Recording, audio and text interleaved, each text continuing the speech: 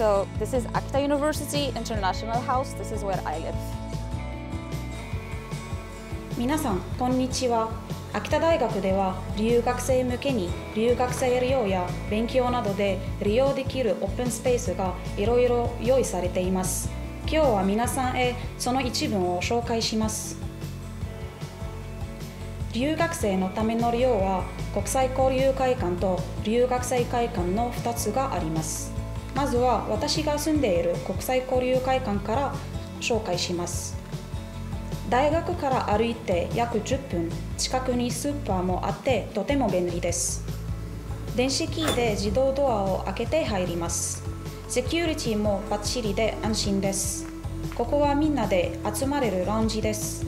キッチンもついていて留学生が自国の料理を作ってみんなでパーティーをすることもできます。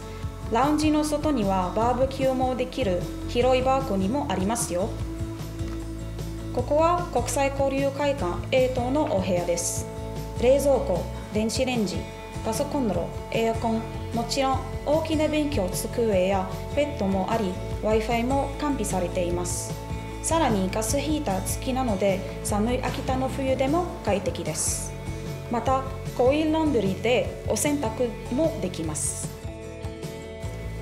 次は留学生会館の紹介です。ここは談話室です。留学生が自由にくつろげるオープンスペースになっていてみんなで楽しく過ごせます。もちろん自分のお部屋も快適です。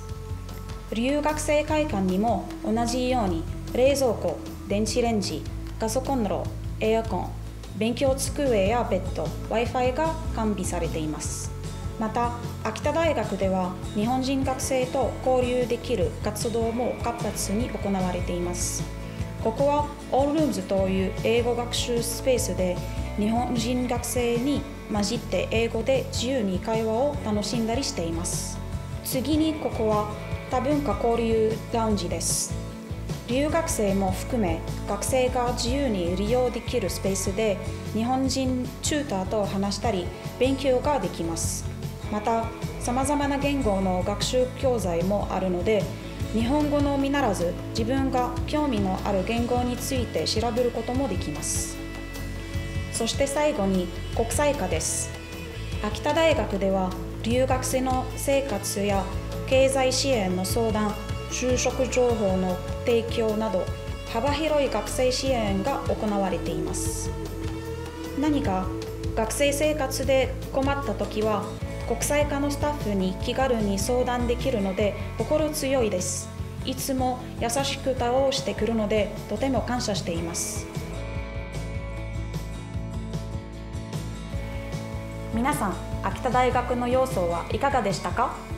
秋田大学でたくさんのことを学び素敵な経験や楽しい思い出作りませんか？